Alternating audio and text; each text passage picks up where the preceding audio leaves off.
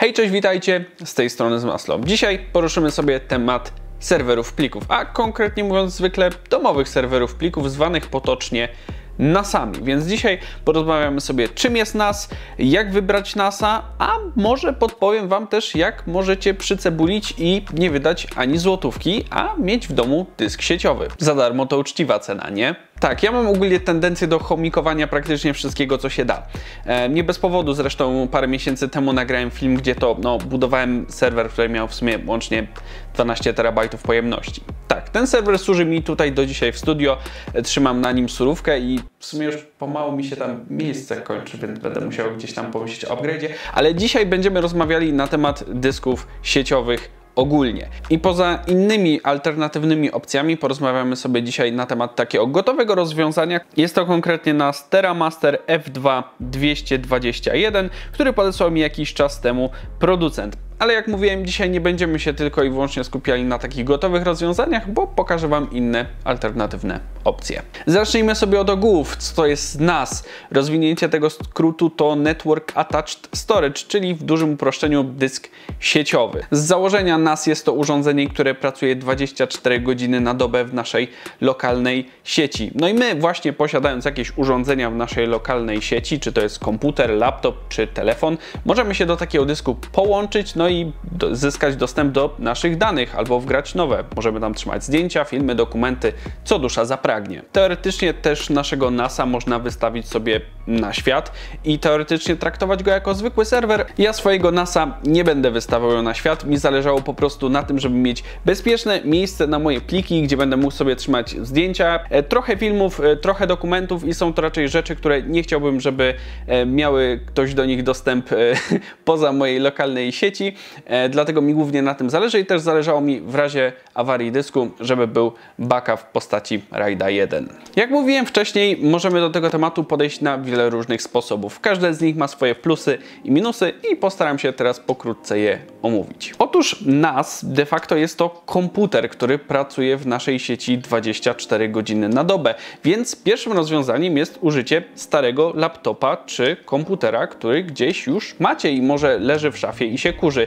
Nic tak naprawdę nie stoi na przeszkodzie, żeby zaadaptować taki stary sprzęt na to, żeby służył nam jako serwer czy dysk sieciowy. Pierwszym plusem jest to, że no, jeżeli macie jakiś stary sprzęt, no to nie musicie go kupować, jest praktycznie gotowy do działania. I drugim plusem jest to, że paradoksalnie, jeżeli jest to PC, to macie stosunkowo duże możliwości rozbudowy. Minusem takiego rozwiązania jest natomiast to, że konfiguracja może być dość trudna, jeśli nie robiliście tego wcześniej. Ja akurat pokazywałem konfigurację FreeNASa, który teraz nazywa się TrueNAS. Jak coś, macie tam w karcie odnośnik do filmu, gdzie pokazywałem konfigurację. Drugą kwestią jest pobór prądu. Jeżeli ma to być z założenia sprzęt, który działa 24 godziny na dobę, no to również trzeba to wziąć pod uwagę. No i trzecia sprawa jest taka, że jeżeli jest to PC, a nie laptop, no to będzie zajmował nam sporo miejsca. Kolejnym rozwiązaniem jest zbudowanie nowego PC od podstaw właśnie, żeby pełnił rolę serwera. Już wspominałem o tym wcześniej, że ja właśnie takie podejście wybrałem tutaj w studio i właśnie plusem takiego rozwiązania jest to, to, że tak naprawdę ogranicza nas tylko nasza wyobraźnia, no i w sumie budżet, bo tak na dobrą sprawę mamy w tym wypadku najwięcej możliwości konfiguracji, jeżeli chodzi o software i hardware. Sami możemy zdecydować, ile dysków chcemy, jaki dokładnie system operacyjny sobie wybierzemy i nasz serwer może działać wtedy dokładnie tak jak chcemy i teoretycznie wtedy też jesteśmy w stanie uzyskać najlepszą wydajność, jeżeli chodzi na przykład o transfery. Największym problemem w tym wypadku jest oczywiście cena, no bo nowy sprzęt komputerowy po prostu kosztuje i to zwykle niemało. No a kolejne minusy są takie jak w poprzednim wypadku, czyli oczywiście wysoki pobór prądu stosunkowo, stosunkowo trudna konfiguracja, no i też rozmiar, bo jeżeli budujemy dużego peceta, no to on też zajmuje sporo miejsca. Kolejnym przykładem może być użycie Raspberry Pi. Ja tutaj na kanale parę razy wspominałem na temat tego malutkiego komputerka, e, no i teoretycznie nic nie stoi na przeszkodzie, żeby właśnie taką malinkę wykorzystać jako nasz serwer NAS i ma to sporo sensu, bo plusem jest to, że malinka jest mała, więc nie będzie nam zajmowała dużo miejsca i kolejnym plusem jest to, że malinka ma stosunkowo mały pobór prądu. Jeżeli chodzi o minusy, to Malinka nie jest jakimś demonem wydajności, ale do takiego prostego serwera wystarczy, więc to nie traktuję jako duży minus. Natomiast większym problemem jest stosunkowo trudna konfiguracja, a także szereg ograniczeń. No bo Raspberry Pi nie było specjalnie myślane właśnie jako taki serwer NAS, więc będą nas tutaj ograniczały porty USB 3.0 w tym wypadku, więc też jest po prostu ograniczona liczba dysków, które możemy do malinki sobie podłączyć. No i finalnie przechodzimy też do takiego gotowego rozwiązania, jakim przykładowo może być ten NAS od TerraMaster. Tutaj z plusów jest na pewno dużo prostsza konfiguracja niż we wcześniej wymienionych przypadkach. Na pewno plusem jest też mały rozmiar, bo tego typu rozwiązania nie są specjalnie duże, no i także stosunkowo niski pobór prądu. Jeżeli chodzi o minusy natomiast, to na pewno jest to cena, bo są to urządzenia, które kosztują zwykle niemało. Drugim problemem jest ograniczona możliwość e, rozbudowy, no bo jeżeli mamy dwie zatoki na dyski, no to magicznie nie włożymy tam nagle sześciu dysków twardych, jeżeli nam się tak zapragnie. No i trzecią kwestią też mogą być ograniczenia w software'ze, które mogą się pojawić w zależności od producenta. Oczywiście jest to swego rodzaju uproszczenie i nie poruszałem tutaj w każdym możliwym przypadku wszystkich dokładnie plusów i minusów, ale myślę, że jeżeli ktoś z Was wchodzi w ten świat, no to teraz mniej więcej będzie miał rozeznanie. Jak coś, to linki do wszystkiego zostawiam Wam w opisie. No i finalnie, dlaczego ja tym razem zdecydowałem się na gotowe rozwiązanie, a nie postanowiłem zbudować czegoś od zera? Otóż już raz zbudowałem sobie tutaj serwer, który mam bezpośrednio w studio i tutaj trzymam sobie surówkę i w zupełności mi to wystarcza. Mam jeszcze kolejny serwer, na którym hostuję sobie inne swoje usługi, takie jak Nextcloud, swoja strona, TeamSpeak i tak dalej. Ja po prostu chciałem mieć małe urządzenie, które wrzucę sobie na szafę, które będzie cichutkie, pobierało mało prądu, które jak raz skonfiguruję, będę mógł sobie o nim zapomnieć, a do tego będę mógł sobie streamować swoje treści bezpośrednio na telewizor, laptopa czy komputer, no i będę miał swoje bezpieczne miejsce do przechowywania danych. Tutaj mamy akurat klasycznie dwie zatoki na dyski, jak dla mnie ideolo, ale co ciekawe, ten konkretny NAS bazuje na procesorze Intela i ma dodatkowo hardware'owe enkodowanie i dekodowanie klipów wideo, co może być dość przydatne. Swoją drogą to wiele producentów NASów korzysta z procesorów procesorów ARM. Ma to swoje plusy w postaci tego, że zwykle przyjęło się, że procesory ARM są nieco bardziej energooszczędne, natomiast tam może być problem taki, że możemy mieć troszeczkę problem z doinstalowywaniem pakietów, jeżeli byśmy na przykład bawili się Dockerem, albo możemy mieć problem ze zmianą systemu operacyjnego. TerraMaster ma akurat bardzo intuicyjny system TOS, który będziemy sobie omawiali za chwilkę, ale co najbardziej mi się w tym nasie akurat podoba, to to, że jest on po prostu otwarty. Jeżeli będę chciał sobie zmienić system operacyjny, to mogę. Nie będzie mi się podobał TOS, mogę sobie zainstalować Trunasa albo mogę sobie zainstalować Open Media Vault. I to był dla mnie niewątpliwie duży plus. Dyski do takiego NASa montuje się stosunkowo prosto. Po prostu wyciągamy sobie jedną zatokę, wrzucamy sobie tam dysk i gotowe. Te akurat redy, które podesłało mi Western Digital mają pojemność 4 TB. Jest to seria WD Red, która właśnie nadaje się dla domowych NASów są to dyski SMR, czyli są to dyski, które są nieco wolniejsze, jeżeli zaczynamy na nie zapisywać dużo danych, ale z racji tego, że ja po prostu chcę to mieć jako swój backup, który będzie bezpieczny, to nie zależy mi jakoś super na jakichś kosmicznych transferach, a zresztą jak zaraz Wam pokażę, to też całkiem nieźle sobie z tym te dyski radzą. Jeżeli chodzi o porty I.O. tego NASa, to mamy do dyspozycji kilka portów USB, mamy też dwa porty ethernetowe, a także HDMI. Tak, to właśnie bardzo mnie zaskoczyło, że znaleźliśmy tutaj port HDMI. Oczywiście musiałem go podłączyć pod moją kartę. No i okazało się, że widzimy tam po prostu logi z naszego systemu operacyjnego. Ale co ciekawe, możemy też sobie wejść do BIOSu z racji tego, że jest to NAS, który bazuje na procesorach Intela i jest tutaj, powiem Wam, zaskakująco dużo opcji i możemy nawet zmienić sobie kolejność butowania. Nieźle. Natomiast do pierwszej konfiguracji oczywiście nie musimy podłączać HDMI, wystarczy, że podłączymy NASa do zasilania i do internetu, no i wtedy wpiszemy adres IP naszego NASa w przeglądarce i zaczynamy pierwszą konfigurację. Ja akurat, y, jeżeli chodzi o konfigurację, chciałem ją sobie nieco dostosować. NAS zrobił nam szybkie sprawdzenie dysków, a następnie zaczął pobieranie systemu z internetu, żeby go sobie zainstalować. Potem wybieramy sobie naszą nazwę, jaką NAS będzie identyfikował się w naszej sieci lokalnej, tworzymy sobie użytkownika i hasło. No i teraz mamy ważną rzecz, bo tworzymy sobie pulę z naszych dysków.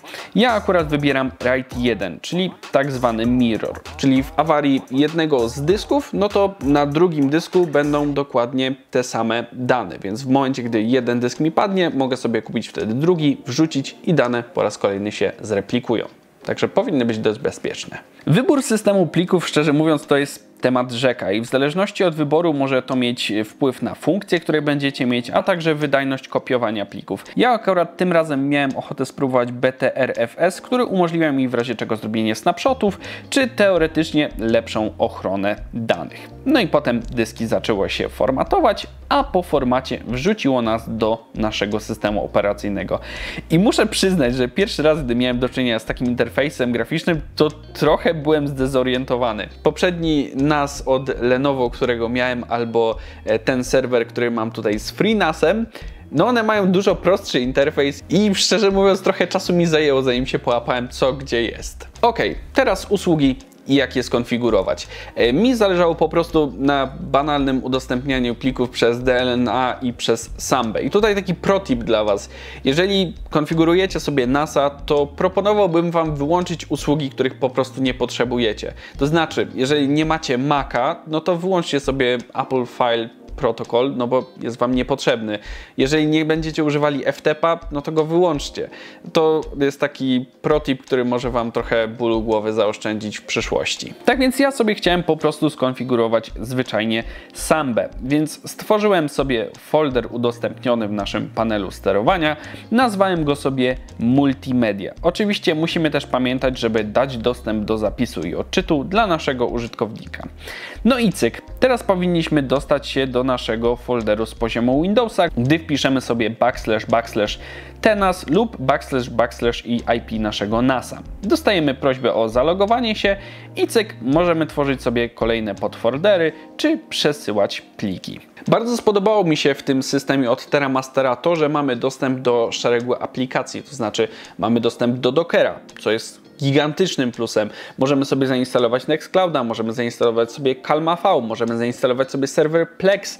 Tak więc możliwości jest tutaj naprawdę bardzo dużo już bezpośrednio out of the box. Ja w pierwszej kolejności zainstalowałem Multimedia Server, czyli usługę, która dodaje wsparcie dla DLNA. Dzięki temu zdjęcia i filmy z mojego Będę mógł sobie oglądać bezpośrednio na telewizorze czy innym kompatybilnym urządzeniu. Wrzucam sobie folder multimedia dla serwera DLNA i finito. Tak naprawdę już od tego momentu, gdy serwer sobie wszystko zaindeksuje, możemy sobie to oglądać na przykład na naszym telewizorze. Pobawiłem się też trochę serwerem Plex, który pozwala nam stworzyć takiego powiedzmy własnego Netflixa dla naszej biblioteki multimediów, ale szereg ograniczeń trochę mnie zirytował. Dlatego postanowiłem e, zainteresować się aplikacją, która nazywa się Jellyfin, która jest w pełni otwartoźródłowa, nie ma żadnych płatnych ograniczeń tylko ją trzeba było zainstalować w sposób nieoficjalny, bo oficjalnie nie ma jej w tym repozytorium. Na szczęście na forum TerraMastera bez problemu byłem w stanie znaleźć gotowy pakiet.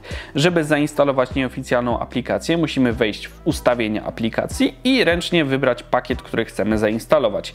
Przy instalacji trzeba pamiętać, że niektóre programy wy wymagają jeszcze dodatkowych zależności i warto to sobie sprawdzić. I serwer Jellyfin działa naprawdę bardzo spoko, jestem w stanie wykorzystać hardware'ową akcelerację, która jest w procesorze tego NASA, więc ja jestem bardziej niż zadowolony. No ale teraz pogadajmy sobie o transferach. W momencie, gdy moja macierz się zsynchronizowała, kopiowanie plików do NASA czy z NASA jest naprawdę bardzo szybkie. Zwykle oscyluje w okolicach 100 MB na sekundę, czyli okolicach 1 gigabita. Tutaj oczywiście zależy jak jest to duży plik. No i teraz kwestia dość elektryzująca, czyli pobór prądu. W momencie, gdy nasze dyski są uśpione, a nasz NAS jest włączony, pobiera on okolice 7 W. W spoczynku, gdy dyski są uruchomione, pobiera okolice 15 15 W. Przy kopiowaniu plików pobiera około 17 W, natomiast w momencie, gdy jakiś program na full obciąży procesor, no to wtedy mamy tutaj maksymalny pobór mocy na poziomie 25 W. No dobrze, ale pogadajmy sobie jeszcze o cenie, bo jeżeli założymy, że mielibyśmy stały pobór mocy na poziomie 17 W, tak uśrednijmy to, że na przykład cały czas kopiujemy pliki na naszego NASa albo cały czas coś z niego odczytujemy, no to on pobiera 17 W. Przy takiej stałej opłacie 80 groszy za kilowatogodzinę wychodzi nam, że rok takiego działania naszego NASa non-stop wychodzi nas okolice 120 zł. W skali roku to nie wydaje się być jakaś duża opłata, przynajmniej jak dla mnie, za pewność tego, że moje pliki są bezpieczne. Ja jestem jakby w stanie zapłacić taką cenę, nie jest to dla mnie dużo. Natomiast wiem, że to jest taki moment, gdzie ludzie często zaczynają porównywać e, tego typu rozwiązania do na przykład Google Drive'a. Moim zdaniem to nie jest do końca trafne rozwiązanie, bo to są kompletnie dwie różne rzeczy. NAS daje nam dużo więcej możliwości niż Google Drive i też dużo lepsze transfery, jeżeli korzystamy z tego w sieci lokalnej. Natomiast stwierdziłem, że for fun Podliczmy to i sprawdźmy. Tak więc cenowo ten mój NAS kosztuje okolice 1200 zł. Do tego należy doliczyć jeszcze dwa dyski, takie jak mam, 4 TB i mamy okolice 455 zł za sztukę, co daje nam w sumie 2100 zł. Rocznie za Google Drive'a zapłacimy 470 zł za 2 TB czyli już na starcie dostajemy mniejszą pojemność. Więc teoretycznie za tą samą cenę, co ja zbudowałem NASA, E, nie uwzględniając tutaj w ogóle jeszcze kosztu poboru energii, no to macie 4,5 roku Google Drive'a, gdzie macie 2 terabajty, tak? No tylko cały czas musicie pamiętać o tym, że to nie do końca jest ta sama funkcjonalność, plus macie mniejszą pojemność, plus ładujecie swoje pliki na serwery Google'a, co, no nie wiem, na przykład ja bym nie chciał wszystkich swoich zdjęć tam pakować, ale nie oceniam. Tak więc jeżeli chodzi o ten serwer NAS, ja jestem bardzo zadowolony. Ma on naprawdę ogromne możliwości konfiguracji i zwłaszcza cieszy mnie obecność Dockera, bo tak na dobrą sprawę dzięki temu możemy sobie przerobić go kompletnie na serwer. Możemy postawić tam serwer Minecrafta, TeamSpeak'a, nawet strony na WordPressie, tak naprawdę mamy nieograniczone możliwości. Dajcie znać, czy Wy korzystacie z jakichś dysków sieciowych, a może macie jakieś inne ciekawe rozwiązania, które ja w tym materiale pominąłem. Dajcie znać, chętnie sobie poczytam. Tyle z mojej strony, do zobaczenia w kolejnych materiałach. Na razie. Bajos.